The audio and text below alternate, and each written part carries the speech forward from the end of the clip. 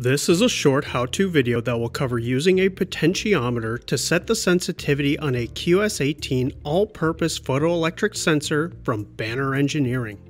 In this video, we will cover the process for both the diffuse and retroreflective sensing modes. To set the sensitivity of a diffuse model, begin by presenting a target condition that represents the farthest, darkest, or smallest target that must be detected. Start with the potentiometer turned all the way toward the minus sign, which is the lowest sensitivity. Slowly turn the potentiometer clockwise until the amber LED turns on.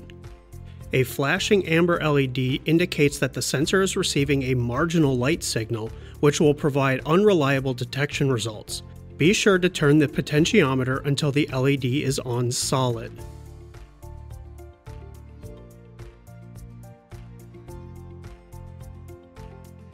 Setting the sensitivity for a retroreflective sensor is similar, but you will set it with respect to a reflector instead of a target. Mount the sensor and reflector opposite of each other with space for the targets to pass between them.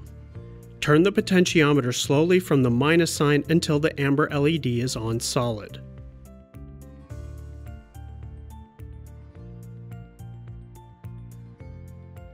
That covers the basics for setting the sensitivity for the QS18 all-purpose photoelectric sensors. For more information, visit bannerengineering.com.